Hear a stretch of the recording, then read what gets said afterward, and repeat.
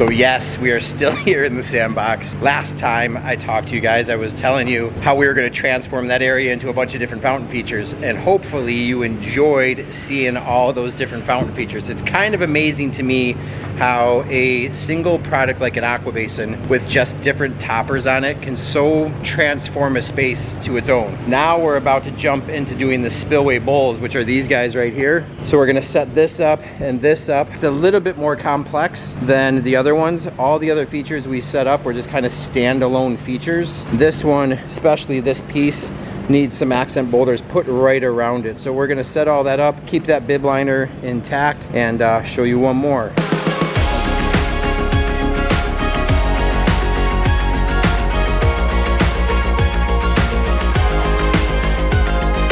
So the spillway bowls are coming together. Um, a big part of what I do, what Chris does, is the R&D side, the research and development side of Aquascape. And as we install this stuff, even though we've done it a hundred times in the past, or 99, like I don't want to exaggerate, but we've done it a bunch in the past. Every time we put these things together, we come up with another idea. And one of the big things I want to take away from this one is the lighting inside the bowls.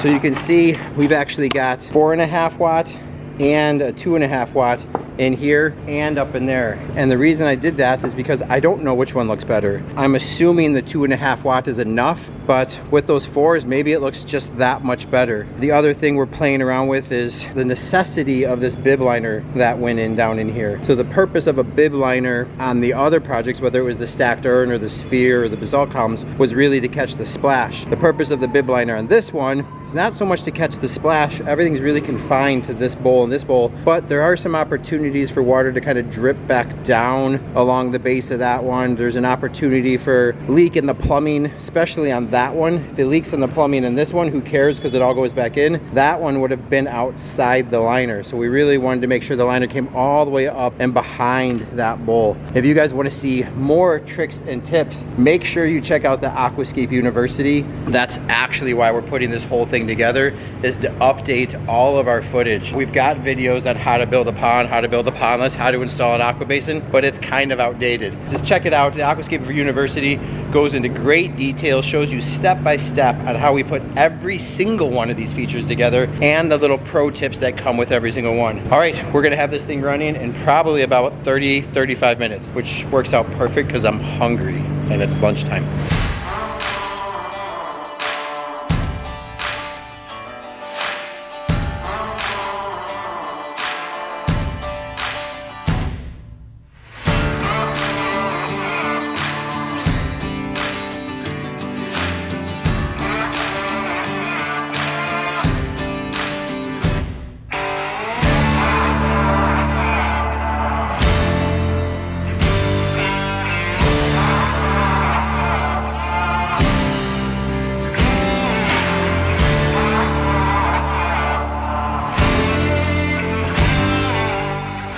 Done. Things look great. I think actually my favorite view is from here. I love that we tied this little dry stream bed into this gravel pathway. It just kind of makes it think like this wasn't an added feature. Everything was here for a purpose. We've got the bowls running. You can see how like sunken into the landscape, it just looks so much better. So I would really encourage you guys, if you're gonna do one of the aqua basin features, keep the soil from the excavated reservoir down there, the excavated aqua basin, take it and flip it up to create a little bit of a berm. If that can look like it kind of comes out of a hillside, it looks so much better. Love the little waterfall, the sound of it's great. We've got one watt lights in there right now. We're gonna dim off these lights up in here and really see what it looks like with the one watts. And then I want your guys' opinion on uh, four and a half watts. Or there's two and a half watts in there now, and then we're gonna do four and a half. And we'll throw some different colors on there and you guys can see what they look like uh, at night. But pretty cool. This to me would be taking the spillway bowls really to their fullest potential with the addition of some lighting, the addition of,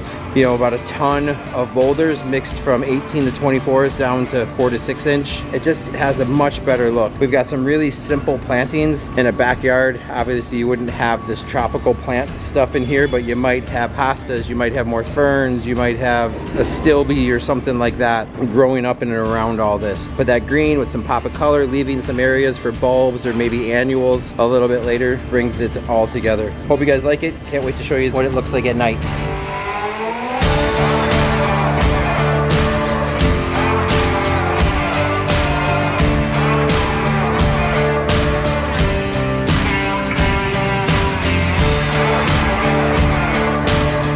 As promised, we've got the two and a half watt colored lights on there. We've got three at the base, which I love. You really need to play around with those and, and, make it your own. Does it look better out further, shining back in? Do you like them up close? If you get them too close, you get these like really bright, what we call hot spots, like that one. and then we have the two and a half watts inside. I'm gonna leave it here as we've got the color cycle kind of going all the way through. Right now, that's obviously the purple. There's more of that pink moving to red to orange. And we're getting a little bit more yellow. The yellow will move towards a green color. There's my favorite, right? And there's, there's always this area between the green and the blue that I really like. And actually, I'm not a huge fan of the purple, but we had the purple on earlier and it looked pretty cool. So the blue is gonna move to the purple. Very cool. So much different looking at night. So what I'm looking forward to, we've got these two and a half watts color changing lights on there. The nice thing about the color changes, they're actually dimmable. So if that was too bright, you could actually dim them down. You can dial in whatever color you want. I'm guessing when we put the four and a half watt lights on, what we're gonna see is a lot more of that light transferring over to the canopy of these trees back behind it. It might be too bright in here, but we'll find out. So there we are, you guys. There's the four and a half watts in there. Definitely a different look, but look at it did exactly what I thought it was gonna do. Is really gonna bring the landscape to life. And look at how the trees are now flickering. And that's happening because of the agitation on the surface of the bowl. As that light kind of penetrates through that water, then you get that flickering motion all over in here. We were just saying if those were white, if those were the white hyacinths over in here, how cool those would look in there as they changed colors too. And so think about that with the landscape. Like maybe these are a bunch of hydrangeas or something that's sitting here at those white flowers. Really important. So you guys tell me what you like best. Do you like the brighter lights? Do you like the more subtle? To each their own. I think what's kind of cool is you can make it whatever you want. There was a, was not my favorite. The red, not liking. the green looks pretty cool. My favorite is this color right in here, this blue it looks awesome against the evergreens. The purple is not bad either.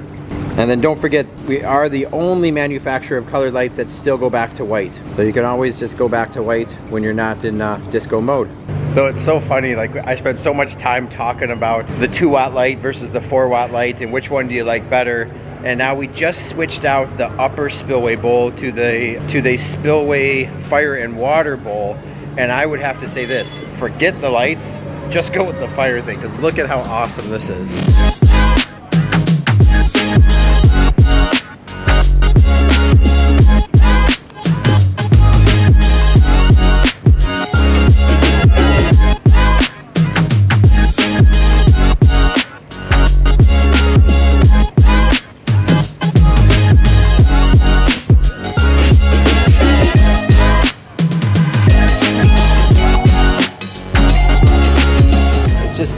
So much more ambiance to the area with that fire sitting up there. It still gives us a little bit of the shimmer on the evergreens. In fact, maybe the evergreens aren't a good idea next to the fire. Chris is kind of adjusting the lights to move some of those hot spots down in there. I love the way that turned out with that fire element. So a new product this year. Tell me what you think. Fire, two watt, four watt. Well, what a perfect way to spend a rainy day. In fact, let me go show you how miserable it is outside. I can tell you what the temperature is. It's about 40 degrees. It's supposed to be cleaning ponds, but when it's 40 degrees and raining and you hear the ice pelting your windshield, you say, ah, why don't we spend the day inside? Super windy. You can see everything is kind of blowing around, very gray. The rain minutes here, but just not fun. So back inside, these guys are actually working on taking all the decals off. Oh, they saved the best one. this was our Pond Stars trailer. Kind of sad, but years and years ago, yes, we did have our own show called The Pond Stars. And uh, this is going too much of a trailer. We don't even fill a quarter of that with our other stuff. And with all the other trailers and trucks and stuff we have, we're gonna sell this beauty and uh, get something a little smaller that fits out on the job site a little bit easier. But let's go back over to the Sandbox studio and I'll show you where we're at so far.